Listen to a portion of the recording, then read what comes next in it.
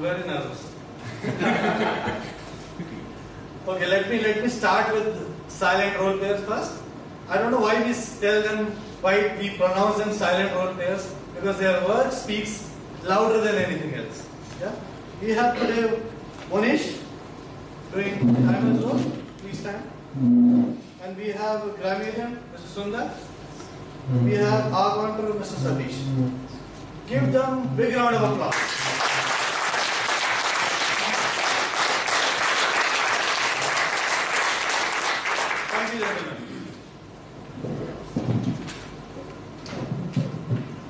Now, as I said, I'm very nervous. I'm not feeling comfortable. But that gives me power to stand here. Can you believe it?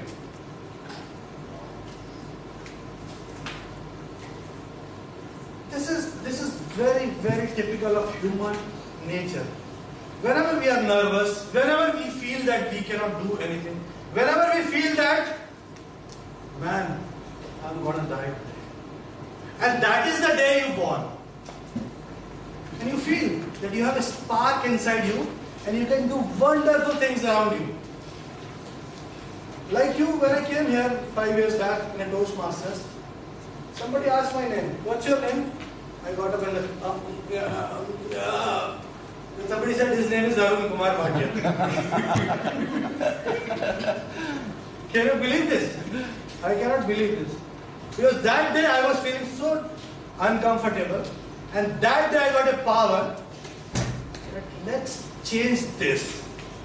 So my friends, whenever you feel something which makes you feel uncomfortable, uneasy, non-bearable or unhappy, just try to find out. There is something good, something great, something amazing behind it. We'll find it out.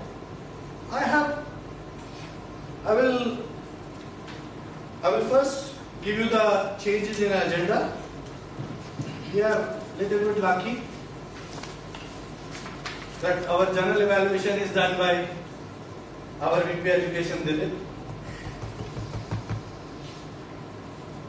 And Mr. Uh, project number three, Toastmaster Abdul Malik, he may not come. We are very hopeful that he will come, but he may not come because he's tied up with something, so he may not come. Speaker number four. So accordingly, speaker, uh, evaluator number three, four, Dilip has taken a role of general evaluator.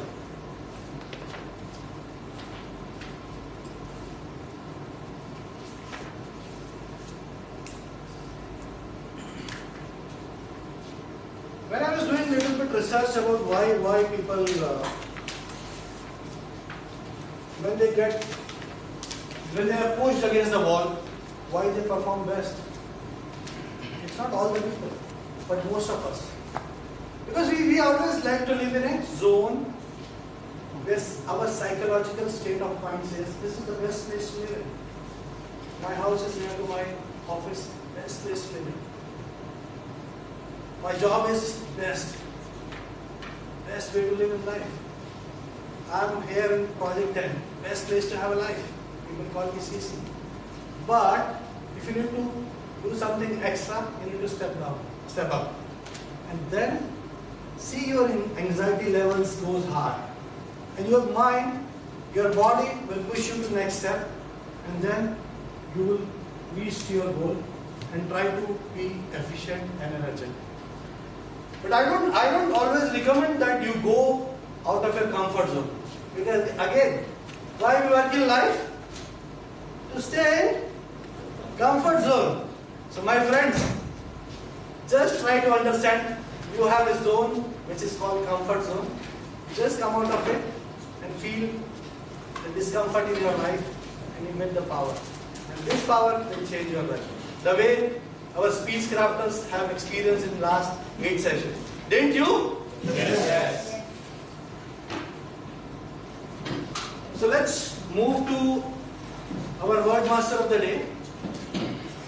Who is our next leader? And whenever I feel this guy and look at this guy, he gives me so much positive energy. And he always motivates me, Arun, I'm the leader. I'll give best to the club. Please welcome Toastmaster Roshan Shetty.